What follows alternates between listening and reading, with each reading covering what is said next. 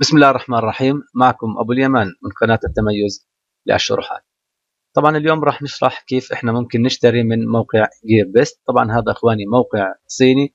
هذا الموقع بتميز في الأسعار الرخيصة مقارنة ما بين هذا الموقع وما بين المواقع الثانية.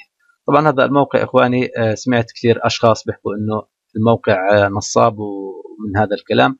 لكن الحقيقة أنا جربت الموقع تقريبا في أربع محاولات أو ست محاولات آه، للشراء.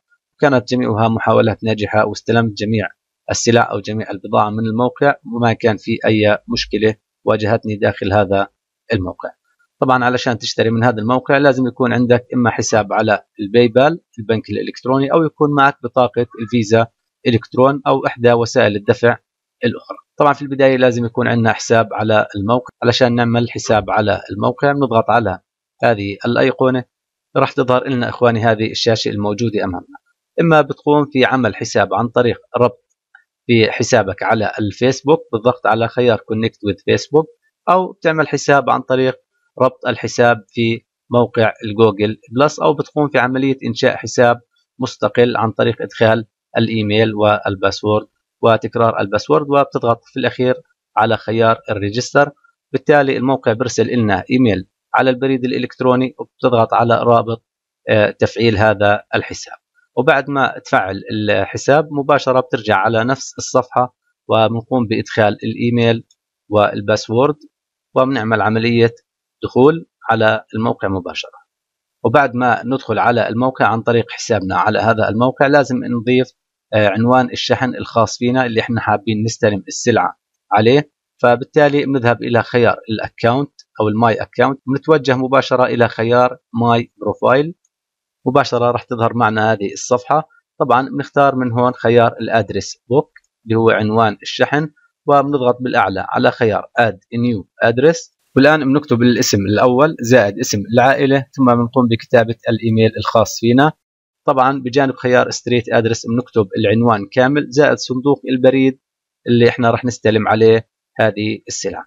طبعا من خيار ال country بنحدد الدولة اللي إحنا عايشين فيها وبعدين بنكتب اسم المحافظة تبعتنا بجانب خيار ال state country ثم بنكتب اسم المدينة. وضروري جدا إخواني نكتب رقم التليفون أو رقم الجوال الخاص فينا بجانب خيار ال phone number وبجانب خيار ال ZIP postal code بنكتب الرمز البريدي الخاص في المدينة تبعتنا. بعدها بنضغط على خيار confirm edit وبعد ما نقوم بإضافة عنوان الشحن الخاص فينا نشرح الآن كيف إحنا ممكن نشتري عن طريق هذا الموقع.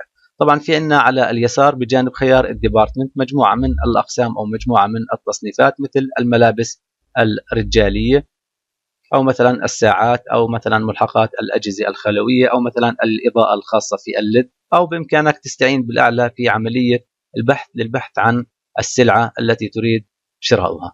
وخلينا نبحث عن كلمة تلسكوب. طبعا هي عبارة عن منظار بركب على جهاز الجوال. لاحظ معي نتائج البحث. مثلا هذه السلعة لاحظ سعرها 36 دولار أصبح سعرها الآن 18 دولار. طبعا إذا حبينا نشتري هذه السلعة بندخل على هذه السلعة علشان نشوف التفاصيل اللي الموقع كاتبها عن السلعة بالأسفل بأسفل هذه الصفحة. بتلاحظ داخل خيار الديسكريبشن مواصفات هذه السلعة. طبعا بتطلع على السلعة وإذا فعلا حبيت تشتري هذه السلعة بنضغط على خيار Add to Chart فبتم مباشرة إضافة السلعة إلى سلة أو عربة التسوق. طبعا إذا كان في داخل عربة التسوق أكثر من سلعه بإمكانك تحدد السلع اللي أنت حاب تشتريها والسلع اللي ما بدك إياها بإمكانك تزيل عنها علامة التحديد أو حتى بإمكانك إنك تقوم بعملية حذف هذه السلعة من عربة التسوق بالضغط على خيار delete طبعا بأسفل الصفحة راح تلاحظ المجموع الكلي المطلوب منك دفعه مقابل السلع اللي أنت قمت في تحديدها في الأعلى. طبعا خيارات الدفع الموجودة في عندنا حساب ال PayPal أو استخدام بطاقة الفيزا بالضغط على خيار Proceed to Check Out والآن إخواني راح تطلع لنا مجموعة من الخيارات. طبعا هذه الخيارات خاصة في عملية شحن السلع. طبعا لاحظ بجانب خيار ال auto free في عندنا خيار tracking number مقداره دولار و99 سنت. طبعا إذا قمنا بتحديد هذا الخيار سيتم إضافة تقريبا 2 دولار على إجمالي المبلغ المطلوب نظرا لأنك طلبت رقم تتبع لهذه السلعة. طبعا إذا ما بدك أنت رقم تتبع بإمكانك تزيل التحديد فبتم خصم 2 دولار من قيمة السلعة. طبعا إذا أنت حاب تصلك البضاعة بوقت أسرع أو وقت قياسي بإمكانك تختار أحد الخيارات الثانية الموجودة بالأسفل. وبعد ما تنتهي من آه، تحديد الخيارات بتنزل على أسفل الصفحة وبتقوم بتحديد خيار الفيزا آه، إلكترون أو ال Visa card أو بتقوم بتحديد خيار ال PayPal وبعدها على أسفل الصفحة بنضغط على خيار place your order ومن خلال هذه الشاشة بنقوم بتحديد نوع بطاقة الفيزا اللي إحنا حاملينها وبنكتب رقم البطاقة زائد تاريخ انتهاء هذه البطاقة بالشهر والسنة. ومباشرة بنكتب بجانب خيار ال security code الرقم اللي موجود خلف بطاقة الفيزا. وبعدها بنضغط على خيار continue فبيتم اقتطاع مبلغ 18 و35 من البطاقة الموجودة معك.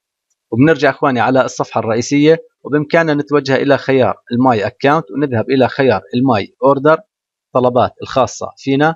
راح تلاحظ موجود داخل هذه الصفحة جميع البضائع اللي أنت قمت في شرائها. مثلا هذا الخيار وبعد ما تدخل على السلعة اللي أنت اشتريتها بتلاحظ وجود ميزة حلوة موجودة داخل الموقع وهي تصوير البضاعة قبل عملية شحنها إليك.